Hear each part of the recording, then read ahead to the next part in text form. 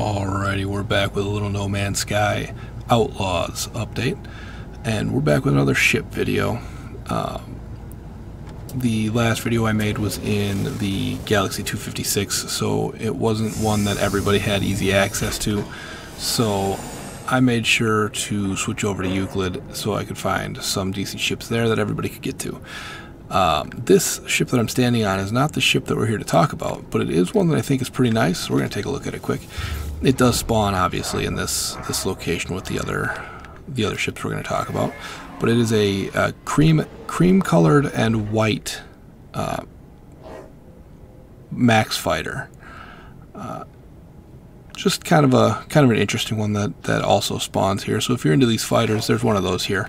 Uh, the ship that we're here to talk about is uh, the one that just flew in. Um, this one right here. And I know that it is impossible to see color in in the uh, Outlaw station here, but this one is an orange, uh, an orange and gray uh, shield, uh, solar shield ship. So we're gonna get this out. We're gonna fly it um, I'm actually going to fly it to my freighter where I've got a second ship that also spawns in this location waiting for us. So I grabbed this one in C class because I just wanted to show you guys uh, the the ship. And as you can see it has the orange half circle shields so this thing is this thing's real pretty. And we're gonna get you the coordinates right here. Um, go ahead and pause Go ahead and pause the video if you need to write them down, screenshot them, whatever. But here's the uh, here's the ship in all its glory. Nice orange color on on the ship, and the orange shields is also very nice.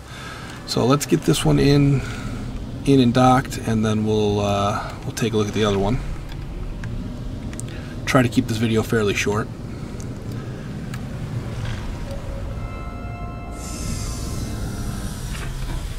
As short as it'll let me, these slow tractor beams. Alright, let's see if we can find it. Looks like it's over there in the first station.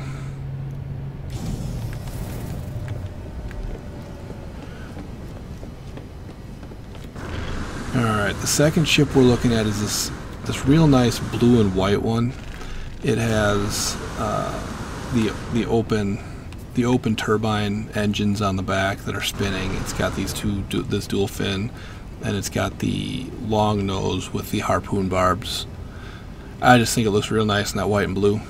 Um, I did get this one in S class. Uh, it actually landed in S class as I as I got to the station for the first time, so we got real lucky on this one.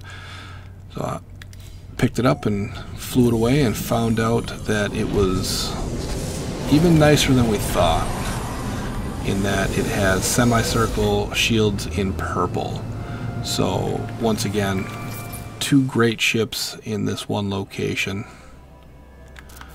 Um, definitely worth definitely worth checking out. If uh, if you found this video useful, feel free to leave a like or subscribe.